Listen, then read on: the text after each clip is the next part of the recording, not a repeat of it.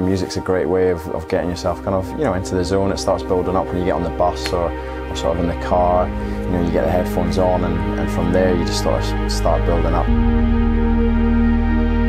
Maybe got songs or things that sort of, yeah, get you fired up. They remind you about good games that you've had, good times that you've had. Start visualising what you're going to do and it's always good to have some good tunes to help you do that.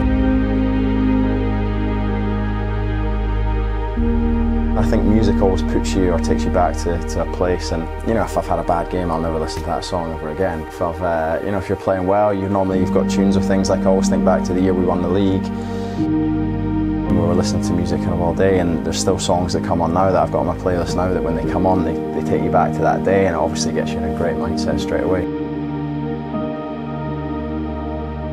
I've had headphones in the past that as soon as you start kind of moving about, you'll shake them off. And these have been brilliant, you know, for my individual workouts and things. And uh, especially, you know, even like out goal kicking and stuff, you can, you know, chuck them in, put your phone in your hoodie, and yeah, and crack on.